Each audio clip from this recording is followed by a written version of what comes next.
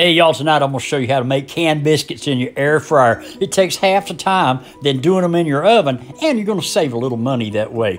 Preheat your air fryer, then hit it with a little cooking spray and put your biscuits in yonder on a single layer and cook for about five to seven minutes, flipping halfway.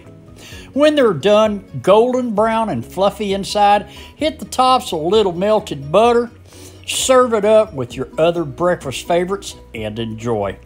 Thanks so much for stopping by. Leave a comment. I'll answer every one of you. But until next time, as always, bye bye, y'all.